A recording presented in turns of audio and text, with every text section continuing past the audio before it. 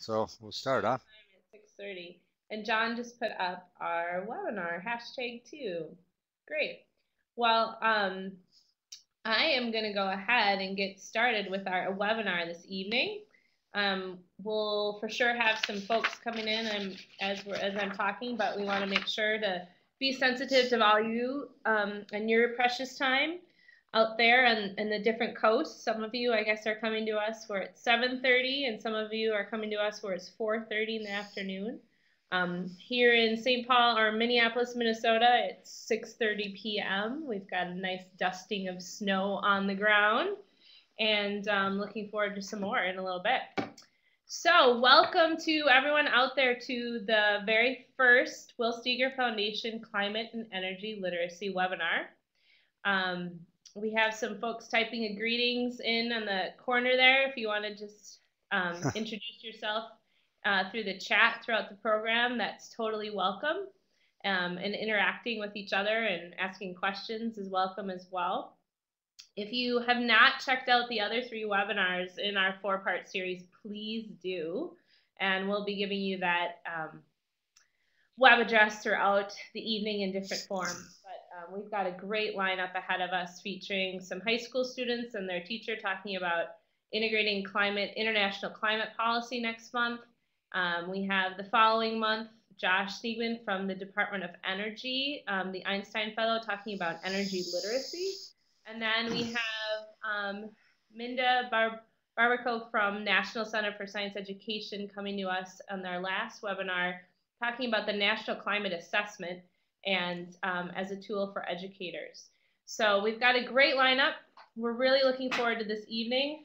Um, and we're excited that you are here with us. Because this is our first, we are mentally prepared for some glitches, although we've been practicing forever and we are confident that this will all come off pretty well. But please let us know if you do have any problems in the chat box, like I said, or, or give John a call in the number above. And so this up here are your hosts this evening. You can see myself and then John Smith, who's the um, faceless um, person behind all this, making sure that we all run smoothly. So many thanks to John Smith this evening. Um, during this evening's webinar, if you do have any questions, please feel free to type them in the chat box in the bottom. John will be collecting them throughout the webinar, and we have some time set aside to to answer um, to answer those questions.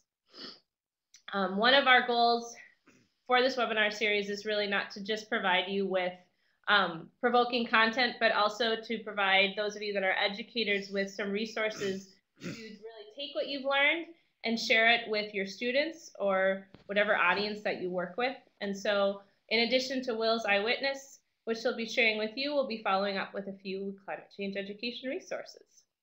Um, so before we go any further, I'm just gonna broadcast the results. I think all of you should be able to see um, so far. Um, what you've said, why you're you're here today. It looks like the top reason why folks are here today is climate change is an important topic for them. Um, but we have some people out there interested in excited to learn about education resources and some Will Steger fans too. So welcome to all of you for being being here this evening. So let me tell you before we go to Will just a little bit about the Will Steger Foundation. Um, the Will Steger Foundation was founded in 2006, and our unique story really stems from our founder, Will Steger, who you'll get to hear here, um, who uses his compelling eyewitness account of the consequences of a warming world in the Arctic and Antarctic as a means to engage people on this issue of climate change and solutions to climate change. Uh, building on Will's experience as a polar explorer and an eyewitness to climate change, the Will Steger Foundation educates, inspires, and empowers people to engage in solutions to climate change. Our, our education program has evolved over the years. We actually started out with um, a focus on expeditions with Will. And although we are no longer doing those expeditions, we really stay committed to the idea of eyewitness accounts and the metaphor of the expedition. The mission of our program is to support educators, students, and the public with science-based interdisciplinary resources on climate change, its implications and solutions to achieve climate literacy. And we do this through curriculum that we offer through our website to download for free, um, as well as provide in workshops and institutes, which are our professional development opportunities. You are all participating actually in one of those opportunities this evening. And we also have uh, a wide variety of online resources I encourage you to check out and work with a number of educational partners really to, to broaden our reach and to strengthen our program. So Will Steger, for those of you who uh, Will here in Minnesota, he's well known and he's known internationally. He's a recognized authority on the polar regions, including its environmental issues. He is also an eyewitness to the effects of global warming. He has spent more than 50 years traveling through the Arctic regions, advocating for the Earth's preservation and advising on permanent solutions to climate change. Steger holds a Bachelor of Science in Geology and a Master of Arts in Education from the University of St. Thomas in St. Paul, Minnesota, in addition to five honorary doctorates. As an educator, Steger taught science for three years at the secondary level and then went on to combine his passion for education with his expeditions and future projects.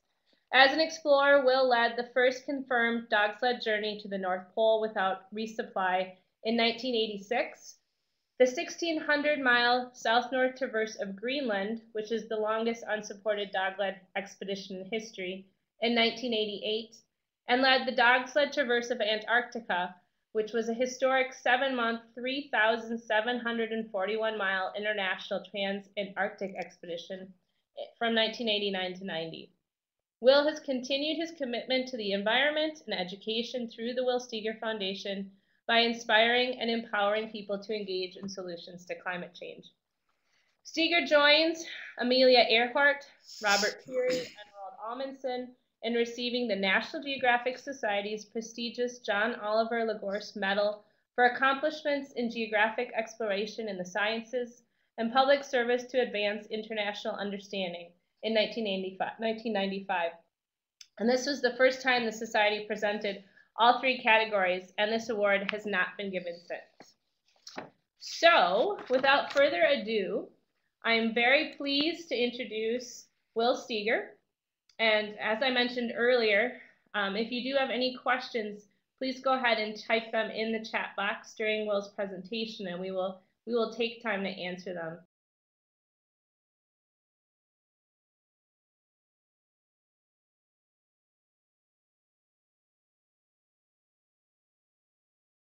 Okay. Are we on now?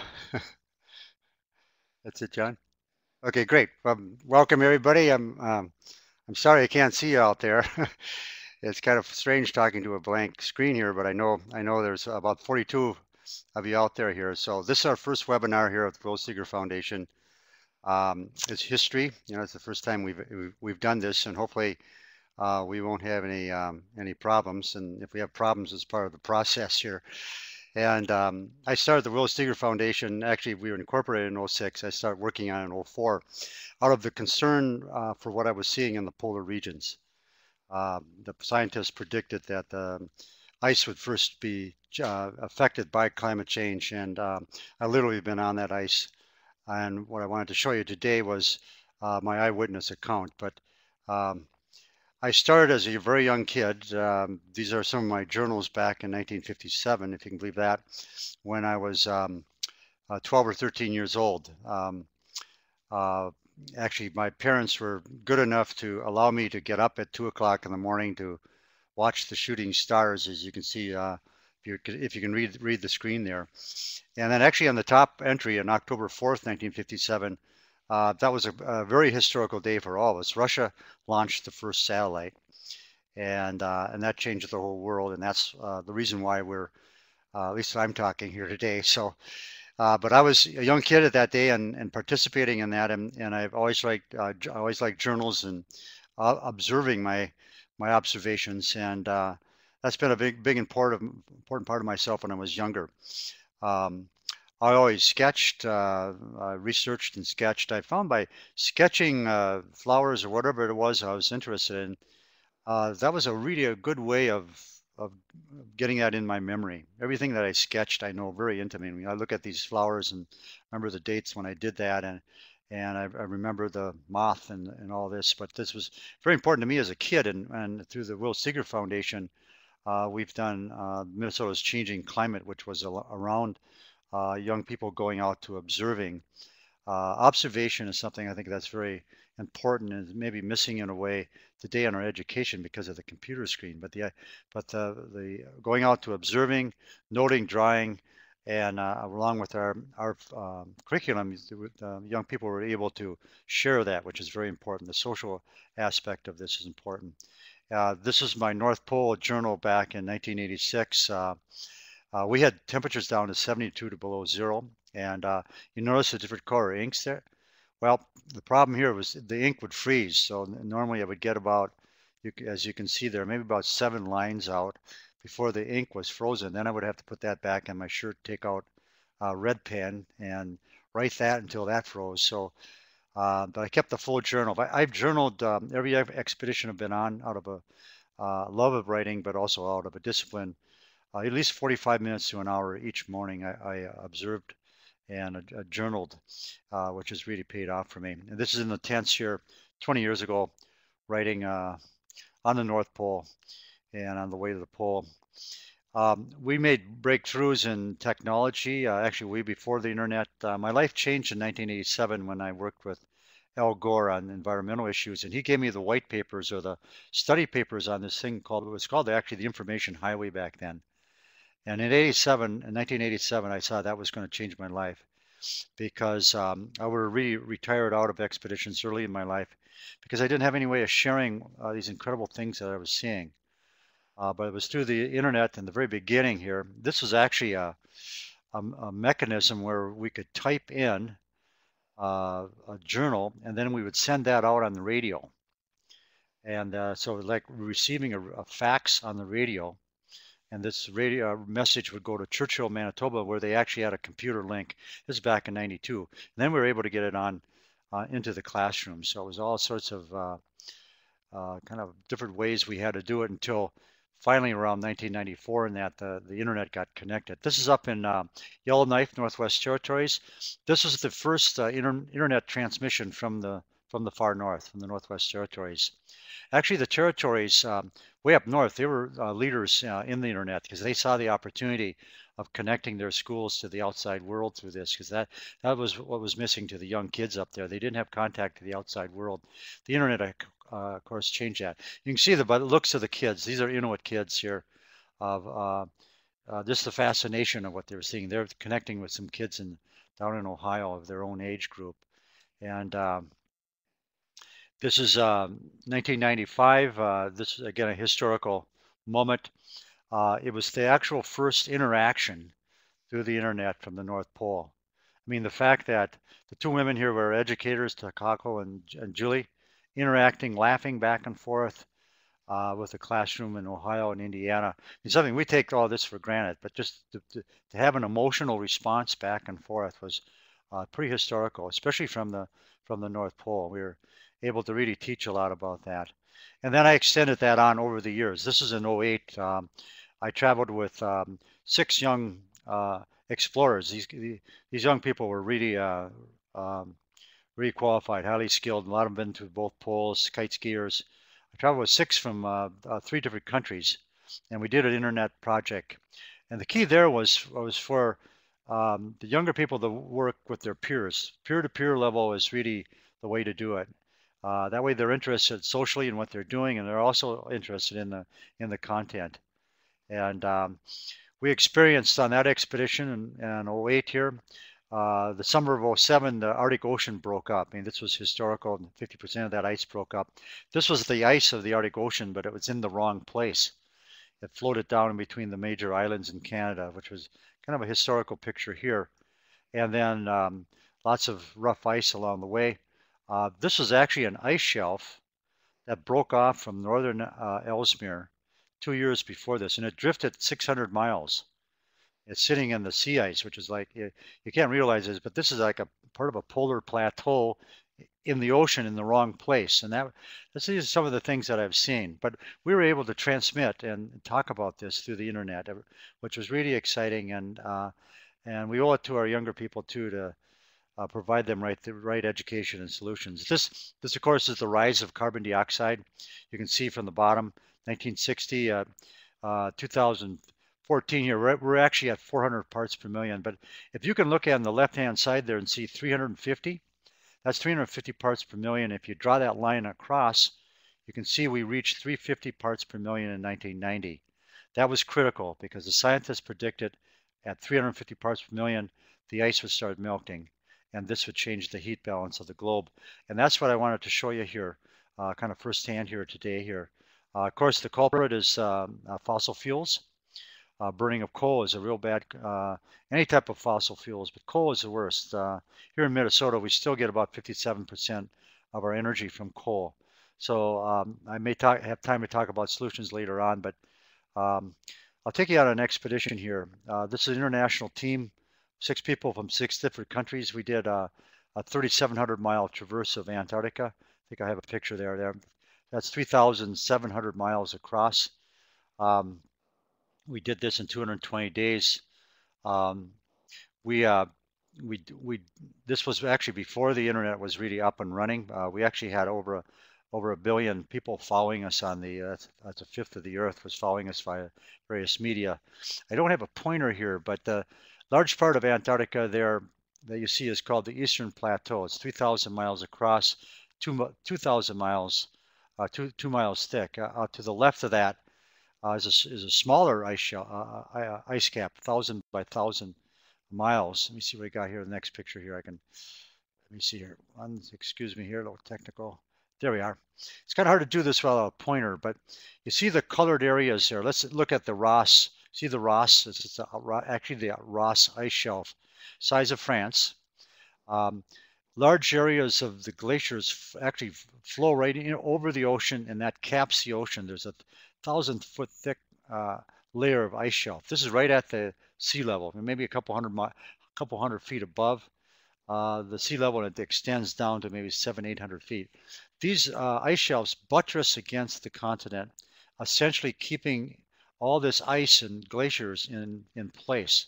The problem that we're having with climate change now are these ice shelves are starting to break off. Uh, if you can look up towards your upper left, the Larsen ice shelf, yellow, uh, that whole area broke off. We, it took us uh, uh three weeks to cross that in uh, 89. I'll show you some pictures of that here. Uh, this is this is a like called a steady state of a frozen country. Is basically you get the evaporation from the open ocean. Uh, that vapor goes over the glaciers, the high plateau, uh, falls in the form of snow, accumulates, of course, over thousands of years, and then that flows out over the ocean. And you can see that ice ice shelf flowing over the ocean.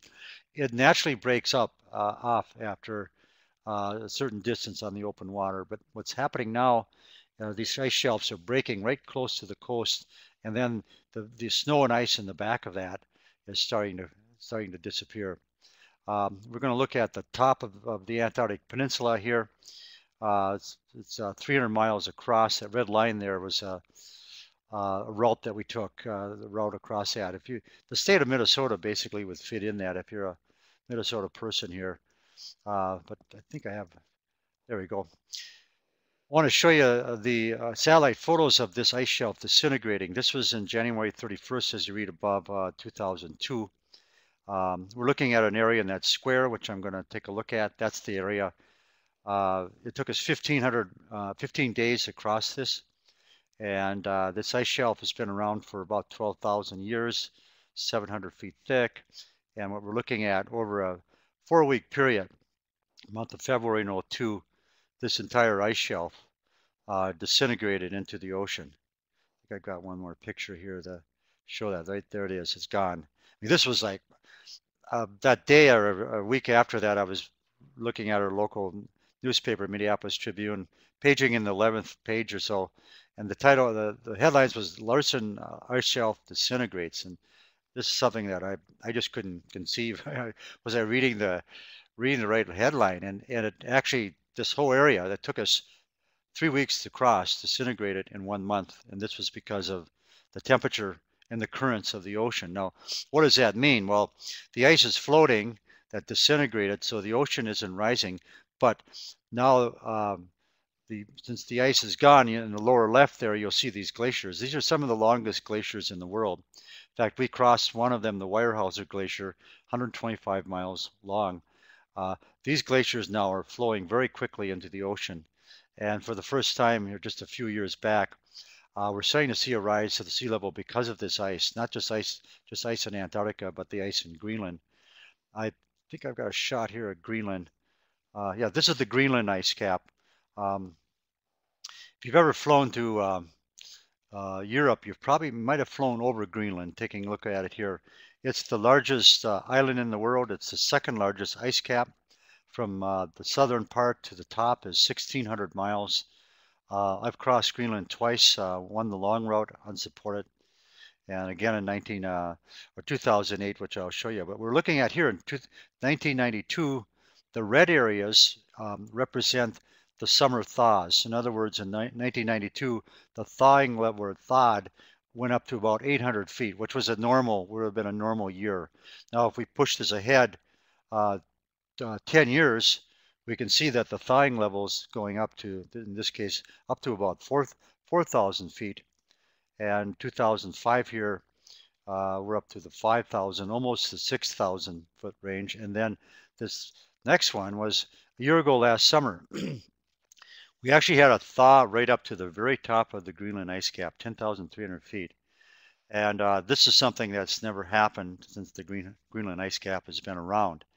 Uh, and what does this mean? Well, it means we have a lot of water that's melting, but you, you don't break up a ice cap, uh, 10,000 uh, 10, feet of ice cap in a short summer, but the water is what, what the culprit is. The water accumulates uh, in small little lakes. Uh, these overflow and then you have running water on the ice. Again, gravity takes hold here, and within five to 10 miles, this water go, forms its old holes, goes through what's called moulins, and this water goes all the way through the ice cap down to the bottom of the ice cap where it, then it follows the bottom, which, which uh, um, lubricates the bottom of, of the ice cap. And then at the ocean side here, we have huge calving, a lot of, lot of ice going. I think I have an illustration of that. No, I don't. Uh, rather than the illustration here, I have a video. It's probably even better. Um, Johnny, you want to run that? in 2008, um, I formed a kite skiing expedition in the summertime to cross Greenland. I, I wanted to see firsthand what this looked like. I traveled with three 21 to 23 year olds from Canada and Norway. These were the top polar kiters in the world. Um, I was a student. I was their student and uh, we were training here. Basically, you you uh, control the kite by the handles like this. You you wear a helmet. Uh, you're traveling pretty fast. Uh, we're training here. We don't have our sleds with us quite yet here, and um, whenever the wind's blowing, we travel. We travel generally, you know, 24 hours to 36 hours straight on. We we take a break every three or four hours, and um, and the distance that we might cover anywhere from 100 to 150 miles. Um, we uh, have a range of around 2,000 miles. I mean, you can travel almost, the few well, you can travel the full length of Greenland there if you're prepared for it. And uh, but using this method of kites, uh, we skied over the top of the of the of the ice ice cap. Here we're you know we're pulling 220 pound loads here. You know we're going about 12 miles an hour in this in this picture, so it's a great way. It's uh, not as easy as dog sledding because you're doing all the work. But then we got over on the other side in, in mid-July. This is the be beginning of the thawing season. This is up at 6,700 feet, and uh, at that time that was a, a, record. They never had a thaw uh, up at that that height at that early uh, in the uh, in the season. Uh, we were able to get around a lot of these smaller creeks, but then as the like a mountain range, the creeks form streams and the streams get bigger. We had a really hard time getting around this open water like this. But what is really strange, if you listen to the sound of running water, this is something you never hear on an ice cap. It's a sign of a, it's a sound of an ice cap that's disintegrating. And then these are, this is a river, uh, three quarters of a mile wide. And If you notice on the upper left here, notice it disappears. It just flows under. This is another, and we're on an airplane here, by the way. Um, we're up about 4,000 feet above the surface. This river is really deep. It flowed for a while. It formed like a Grand Canyon. It dug out this, carved out this huge canyon, and then then that disappeared uh, into the ocean, uh, in, in, through the ice. This is when we got near the ocean. Uh, we're we're in land here. Uh, this is uh, a natural occurrence which is called calving. Calving is where the glaciers break off on the ocean front, uh, which is unnatural here um, is the amount of calving. This this is just a small section here. This is like almost uh, 17, 1800 feet tall here. It's a mile long. And uh, all day long as we sat here, we, we watched these huge pieces, one after another, breaking off. And uh, really, really quite dramatic. Um, what you're seeing here is, is the beginning of the Great Sea Level Rise. Um, as of 2007, we started absor- uh, the Earth starting to absorb more energy than giving out, melting this ice again, like over 300, almost 400 parts per million. And uh, this is something that is not too major quite yet, although our storm surges are powerful because the sea level is rising. But this is something that's going to plague our civilization uh, for the rest of our history. And I'm, I'm sure we're going to be around for a long time, but we're going to have to adapt to the changes that we occurred. In fact, we are no longer in the ice age system. We've probably been in ice ages for 20 million years, but the ice age cycle is over with. And uh, we'll turn to another uh, video. I think we have it. John, John, do you? Should I push a button here, or do you? You? Okay, we're John's working on this one here. There we are. Jim Balog. Okay. They do a little stand-up comedy work. Okay, this is a friend of mine, Jim Balog, does the movie, did a movie Chasing Ice. He sets up remote cameras, solar powered, that sit there for a whole year, and they take these time-lapse photographs. You're looking at a glacier, three miles long, you know, across, one mile long. That would be three miles, you know, across it, one mile thick. You're seeing this break up in a matter of uh, 75 minutes.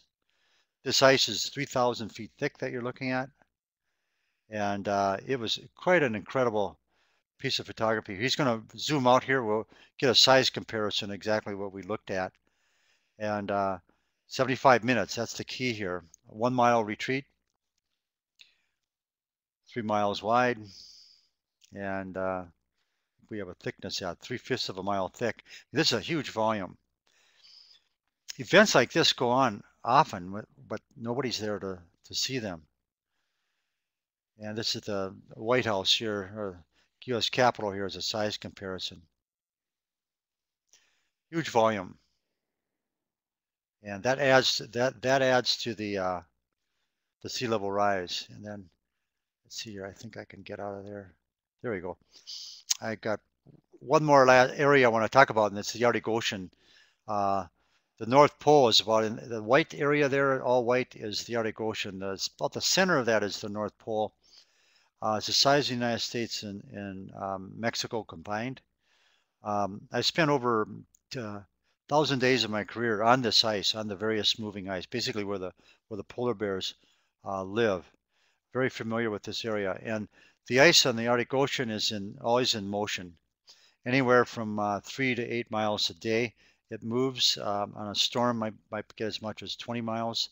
So when you're on it, you're, you're moving. Uh, before the advent of the GPS, you couldn't tell you were moving, but with the GPS, you can actually see, you know, how many feet you're moving a minute and then also your direction. But here, what we're doing is two of these huge plates that come together here. This is an active movement here, and we're trying to figure out a route. And there's a little silhouette in the distance. My friend Victor is going way out in the long run, we're finding a route there, but we're trying to get a, a route right over through this immediate area. Where the ice comes together, you get these pressure ridges, uh, and we cross hundreds of these on, on a crossing. Um, and then if the wind changes, the ice actually separates. You get open water even at 50 below up there uh, when the ice um, splits up. We like to travel when at the coldest time of the year. 50 below is ideal actually because when this ice breaks up like this, it freezes rather quickly. But uh, this surface of the ice, though, we've seen some major changes. Um, starting in the 90s, um, we witnessed, experienced a, a lot of open water, and it became very dangerous uh, crossing these areas with, with dog teams. Um, we had sleds go in, dogs go in, people go in. Uh, it just got to be too bad. And, and today you can no longer reach the North Pole by uh, dog team because of the open water. You do have to travel uh, in, a, in some form of flotation. This is a canoe, we call a canoe sled, a canoe with runners on it. Or uh, other other expeditions actually use uh, um, uh, pulks or sleds that do float, and uh, you get over it that way. This is the uh, the land land that you're looking at here is the northern northernmost area of North America. We made a crossing from the Russian side. We went all, all the way over. This is in July, so we're coming down here to the uh, North America. This was really uh, for ourselves a quite a sight. Um, this picture here is um, a site that I never thought I, I would see or uh, actually participate in. We're actually canoeing on the Arctic Ocean. And uh, this was in 1995. This whole area should have been, uh, you know, should have been frozen. uh, let's see, do we have a video here, John? Okay. let's see here what we got. Yeah, this shows the uh, ice retreat over the last 30 years or so. Uh, upper left, you can see the years. Um, the 80s were normal years. Uh, the retreat would happen in August, end of September. Notice in the 90s now uh, that summer sea ice is becoming a little less. Some some years with a lot of ice, but as we get into the 2000 era, we'll see a big breakup here in 07. Notice in 07, uh, we had another major breakup right there in 2012. That was a, the least amount of ice. Um, see, we pulled, check here, see what we got next year. This is what we're looking at on the Arctic Ocean.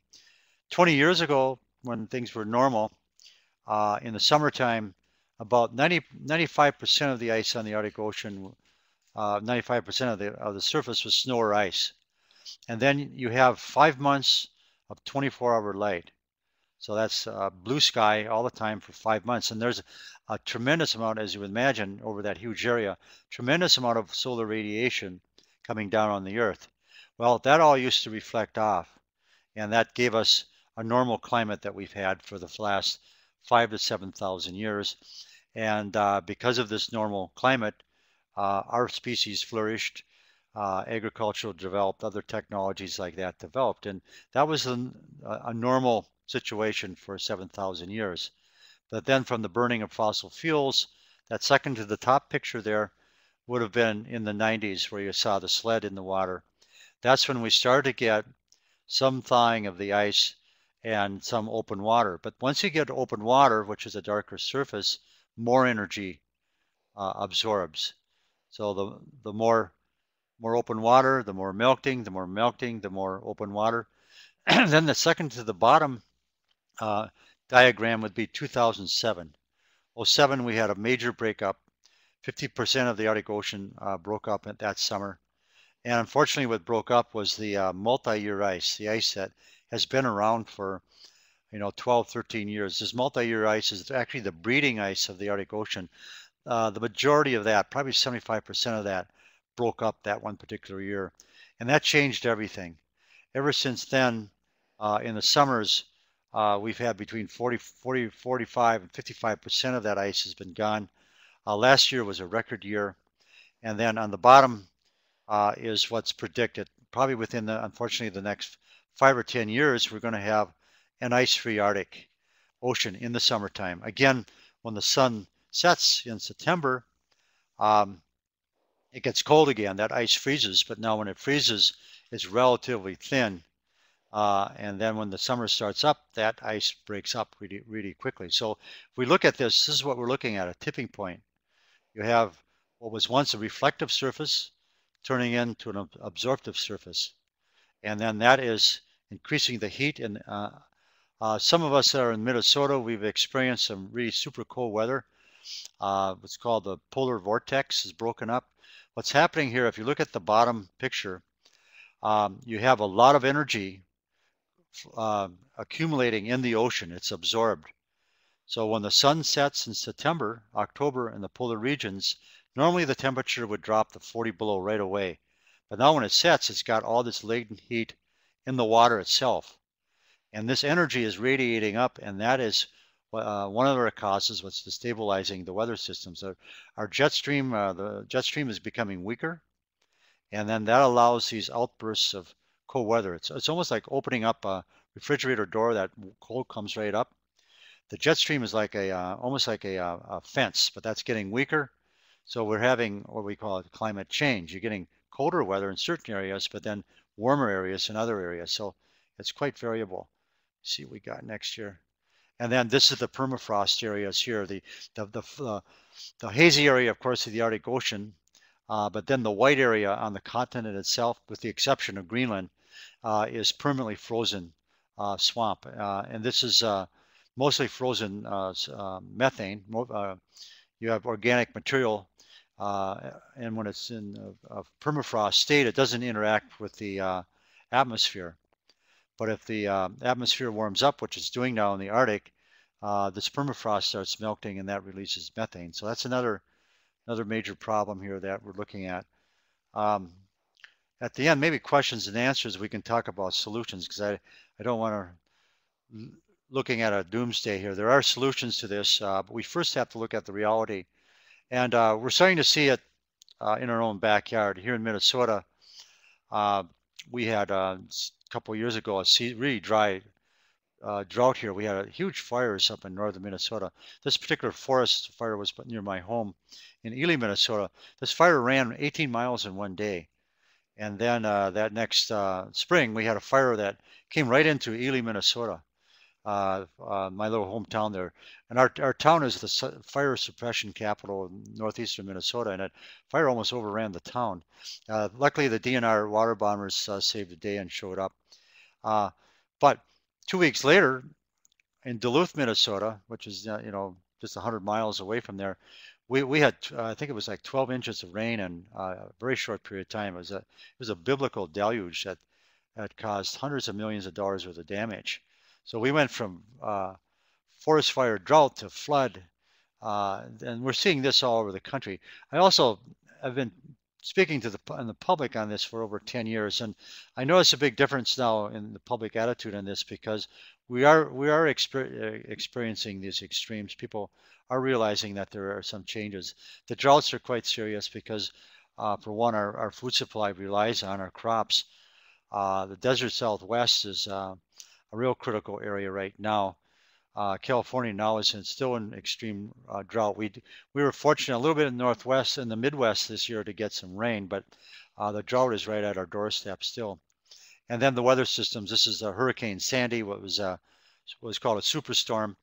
The reason was a superstorm was the water off the coast of New York, uh, New Jersey. There was almost the same temperatures as what it normally is off the coast of uh, Florida and this was because of the warmer water, the, the climate change, and that bred much, much stronger, um, much stronger uh, storm. Let's see if we got here. And then, okay, let's talk about solutions. Um, uh, there's two areas in which this, uh, the ma major solutions. One is conserving the, uh, the energy that we do have. And the conservation of energy is anything from any way we use energy is going to change. Uh, better insulated windows, insulated, uh, re-insulating uh, buildings or new insulation on new buildings, uh, lighting systems. Um, all of this is going to be a, an incredible employer. Uh, I would predict uh, we get our act together on the energy front here in the economy. probably about a third of our young people will be working in, uh, in one way or another in, in this energy sector. So conservation of the energy is really one step. And then the second part of that is getting our energy sources from clean sources. Uh, of course, wind is uh, the most obvious one. Uh, here in Minnesota, um, we went, uh, I believe, about four or five years ago, we were 4% uh, uh, our electricity came from wind. right now, it's 13%, pushing almost 14%. we have a great economy, bringing in millions of dollars to our state, employing thousands of people. it's really a win-win. Minnesota is a real good example because we don't have any fossil fuels under our ground. Uh, we spend $20 billion a year on fossil fuels. Of course, that majority of that money goes outside of our state. So within our state now, we are starting to, uh, through our renewables, we're starting to capture a percentage of that. Within 20 years, we'll probably have about 18 million billion of that will be out of our renew our own renewables, which is uh, our own our own uh, local economy. Solar is really starting to take off now. Um, you're going to see this in the next. Uh, right now, it's happening, but by five years from now, the price of solar is dropping. Um, uh, the, solar boom, uh, the installation, the maintenance of solar, uh, it's going to be a huge industry. I would predict that uh, within 10 years, most of our flat roofs uh, in our cities will be solar. You'll see the panels all over. And the, exact, the advantage of, of, solar is it's local power. You, you don't rely on transmission lines. and you're not losing energy and, and costs and money by transmission lines. It's, it's local power, and especially when you need it. In the summertime, there's a huge energy drag uh, because of the air conditioning, and, and solar can pick up a lot of this extra um, energy need at that time. And um, of course, uh, the Will Steger Foundation here, um, we work in three areas. The area that we're uh, in education curriculum, we work with teachers. One area we work a lot in uh, youth uh, leadership, both in high school and, and college. And a lot of this work is around policy. And then the, the third area that we work in is climate and energy policy. We work a lot behind the scenes moving uh, the Midwest and Minnesota. And this was one of the rallies here we had. I think it was, was this at Washington, D.C. or I think it was here. And, um, and then we do a lot of work in the classroom. And um, right, I think we're right on time here. And um,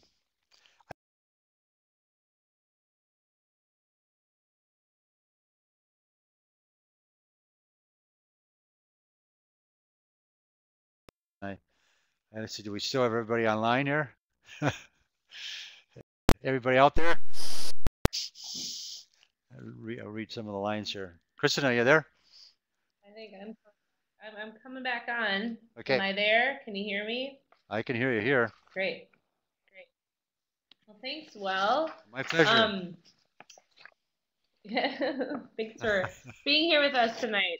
And um, like I said earlier, one of the goals of, of this webinar series is we wanted to make sure that um, we were able to provide you guys all out there around the world with um, not only some really provoking content, but access and some ideas for some resources of, of how to talk about this yourself um, with people that you know and also maybe with the students that that you work with.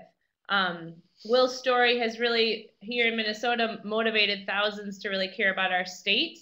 And it was really those early observations of the natural world that you saw earlier in his webinar, his curiosity about weather and climate that enabled him to get out there and explore and survive actually in the polar polar regions. These critical skills and a good understanding of weather and climate are important for everyone to know and understand. And data collection, asking good questions about the natural world, and then being able to develop investigations to answer them are integral to those of us that are in classroom settings, the next generation science standards, um, and documentation, description, those are all brought, come bring in the common core language arts as well as art and math and, and all the, the different subject areas. So I wanted to share a little bit briefly about a program that we were able to work with that might inspire you um, for a program back where you are and, and show you some resources we use. So we were able to participate in a program for a few years sponsored um, by the National Park Foundation called the Parks Climate Challenge. And this program helped us prepare teachers and their students to be their own eyewitnesses um, of climate change in their school and in their community and, and in, the, in the national park that we have here in the Twin Cities, the Mississippi National River and, Recreation Area. And um, through this partnership, we were able to train over 100 teachers and get over 1,000 students outside making observations of the natural world. And so the way the, the, the project ran is we started out with a Summer Educator Institute. We ran these for three summers. We do do institutes. We've been running them for actually eight years, but these particular um, trainings were focused on this program. we um, the institutes were uh, based on developing educator confidence and competence in delivering climate change education in their educational setting. And you can get a nice uh, overview of, of the institutes on our website, and we'll be sharing those through the, the resources page associated with this webinar. The, the institutes featured our Minnesota's Changing Climate curriculum, which Will had mentioned earlier, which is a six lesson module that has an emphasis on documentation, getting students outside, and the impact of, of climate change on Minnesota's biomes. And you're able to, to check that out from the website listed there and download it for free if you're interested.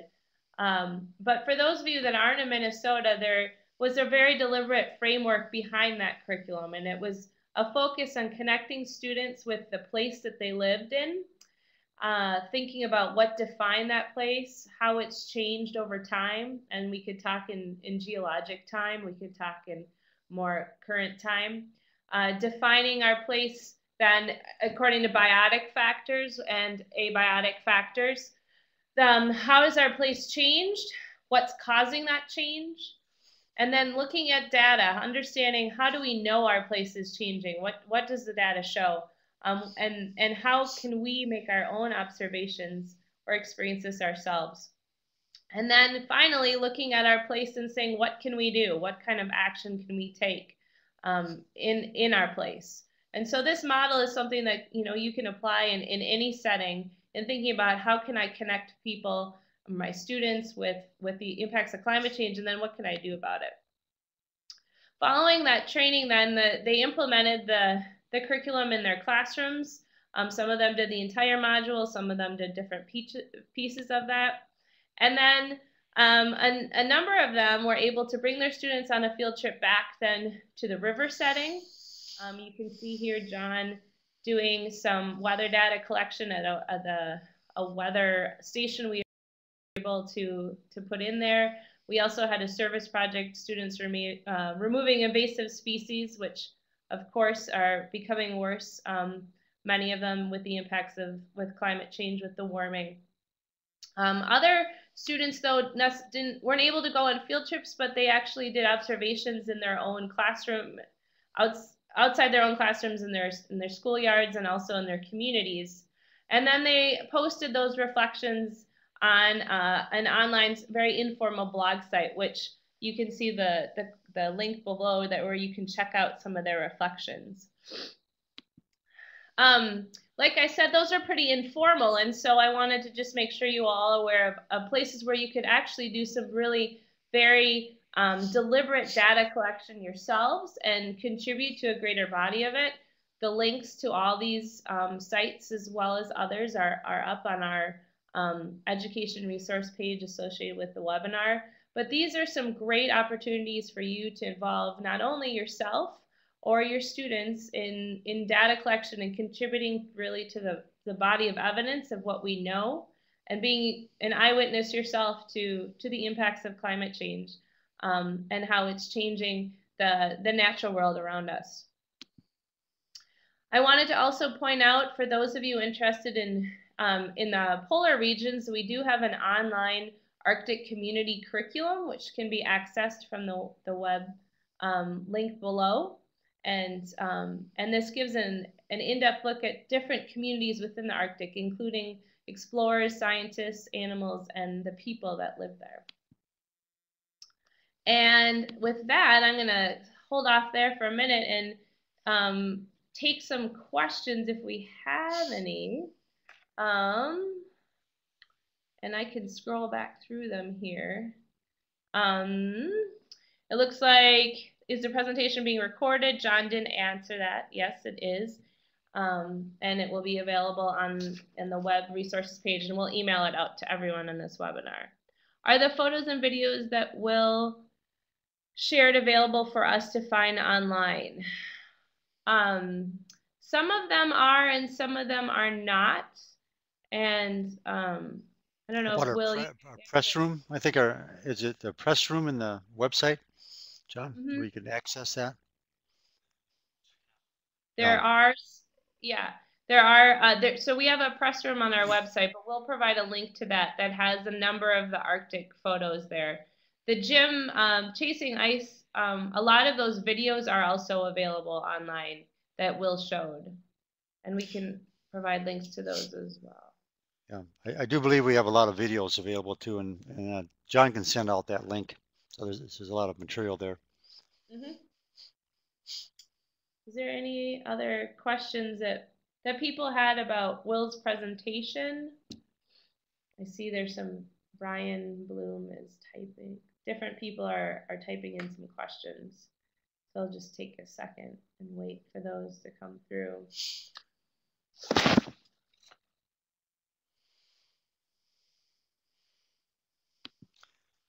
I guess I'm waiting for for some of those. Oh, yep. Are the links to information about data collection and support available on the website? Yep. So there'll be there's a resources page which I'll post here. I think I can post in a second. Um, it's just being updated tonight, and it will be finalized probably by next week. But it will have all the the different resources that um, that I talked about this evening. So all of those will be posted. Okay, great, thanks. All right, well, I'm going to keep talking. If you think of any other questions that you might have for Will, um, go ahead and type them. And I'm just going to kind of conclude some things here just to let you all know that we are hosting an institute this summer for, for educators. And we would love to have you come on over to Minnesota if you're not here or come to the institute if you're in Minnesota. The information can be found there and registration is open. It's um it will be three days, and there's two tracks. One focused on climate change, on the, and one more focused uh, specifically on energy education.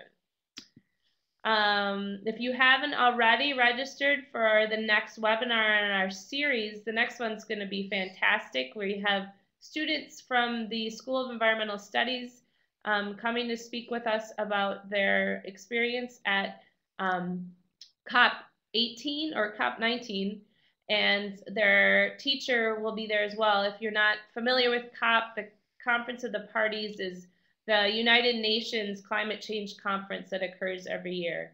Um, their teacher will also be coming to just talk about the impact that this has on students because he's been doing this for the last five years, bringing his students there. So it should be great. So you should check that out. Oh, I see someone's highly recommending the Institute. Thank you very much.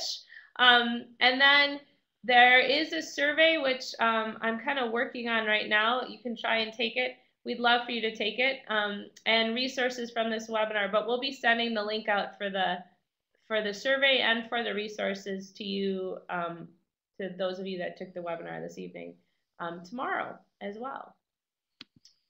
And with that, is there any other questions that people have before we close out for the evening? Because we have a couple more minutes then left. It looks like five, four, three, two, one. Looks like, oh.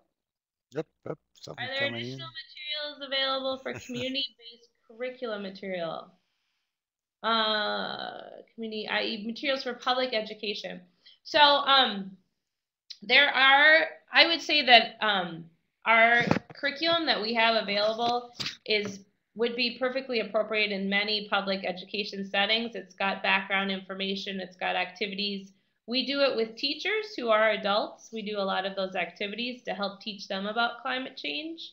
Um, and so I would suggest looking at that. I would also say, I'm not sure, Jody, if you're in Minnesota or not. Are you in Minnesota? Um, we have a public education program. She great, Jody's in Duluth. So Jody, um, if all goes well and our proposal goes through the legislature, we will be launching a project in uh, July called Minnesota Stories in a Changing Climate, which is a public education um, outreach project on climate change for the state of Minnesota. And it's funded through the uh, Legislative Citizens Commission on Minnesota's resources. And we're really excited about it.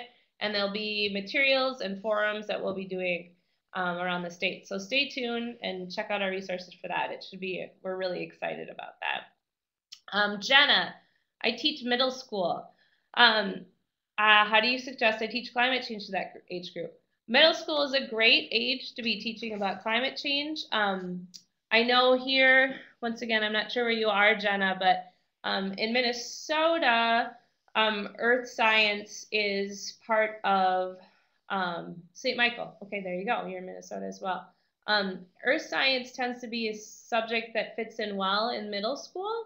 Um, as far as doom and gloom, um, integrating as as Will was talking about it, some discussion then about solutions and what you can do with your students to make a difference and make a change, I think is what's really important. It's what we try to talk about here um, at our institutes when we talk to teachers about teaching climate change. And um, students at that age are just like, they're ready to do something and, and come up with innovative new ideas and encouraging them to do that i think is is absolutely important and actually really exciting um, we get a little bit more into those parts in our institute but there are some more action resources in, in our on our webpage you should check out but also feel free to get in touch with us st michael isn't so far from the twin cities and we'd love to talk with you about about ways to do that I'd like to connect with you on this. We're leading Duluth, Georgetown. Great. Jody, get in touch with me. Send me an email. Um, Will also mention conservation of renewable resources. Are there any specific projects you suggest for elementary middle school? The um, our experience energy curriculum, which is also you can access through, is that what you just, oh, contact if John, if you want to post the link to that. Um, has some great um, um, activities as far as doing audits with your students of your school and looking at the ener energy that is being used there. Um, we actually check out, if you're in this area, um, watt meters for you to kind of look at the use of energy in your classroom and, and in your school if that's something you're interested in. Um, there's activities about developing action plans, and sharing them. We have case studies in that curriculum of students here in Minnesota and the things that they actually did in their old school. Um, so hopefully some of those suggestions are, are useful. I'm talking off the top of my head. Experience energy, there you go. Great. Well, we're coming to the end of the hour here. Um, please feel free to um, get in touch with us here uh, via email or calling our office. We're always here to talk. We hope to see you at our next webinar series on what day is it, John? It's Webinar Wednesday. We know that. February something. um, and coming. is it coming? February. He's running it up. Want me to tell him? We'll go to the beginning here. Oh, there it was. February 12th. February 12th. There we go. And many, many thanks to Will Steger for being here with us this evening. My pleasure. My pleasure. And great. And we will